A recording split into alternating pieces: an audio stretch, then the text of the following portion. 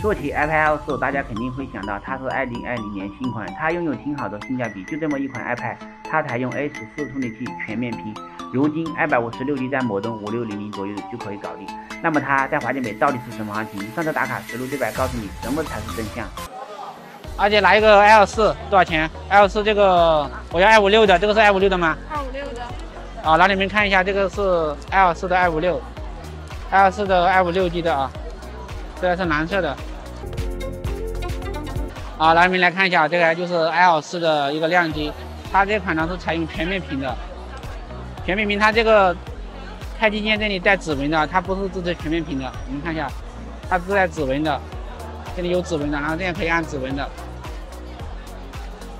这款的 L 四最大的卖点就是采用 A 十四的处理器啊，然后它这边有个也有个大象头的。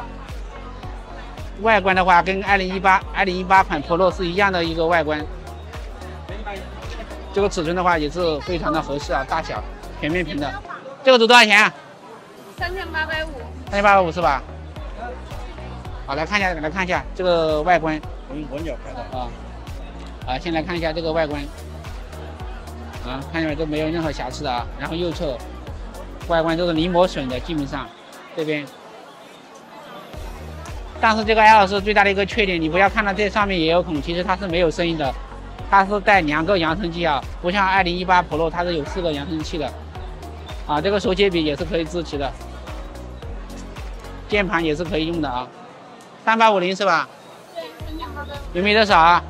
最低吧？最低是吧？六四组多少？六四啊？六四的三千一百五。六四三千一百五是吧？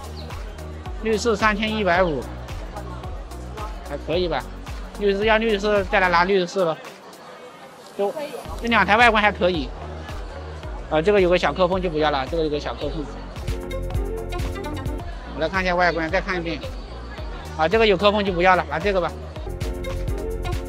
L 四就是最新款的，屏幕我们测一下，没问题。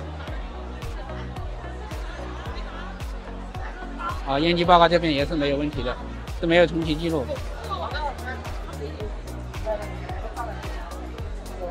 好，记一下，记一下这个码。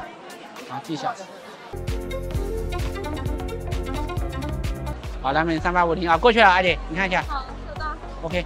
三八五零搞定全原装，二百五十六 G 九九新，对比新机省多少？你们自己算。更多 iPad 行情，请看往期视频。点赞关注 IDJ，选机路上简单又明确。